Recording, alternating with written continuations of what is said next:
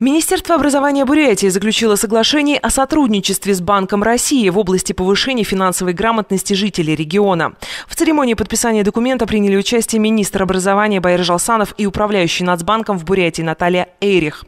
Основы финансовой грамотности будут изучаться, начиная с детского сада. Дисциплина будет включена в школьный курс обществознания или будет введен элективный курс «Основы финансовой грамотности». Также финансовой грамоте будут обучать воспитанников детских домов и школ-интернатов. На сегодняшний день в 36 школах республики уже преподается курс «Основы финансовой грамотности». Часть образовательных организаций уже получили учебно-методические комплекты, в состав которых входит рабочая тетрадь, учебник и методическое пособие для учителя. В дальнейшей перспективе учебными пособиями по финансовой грамотности будут обеспечены все школы Бурятии.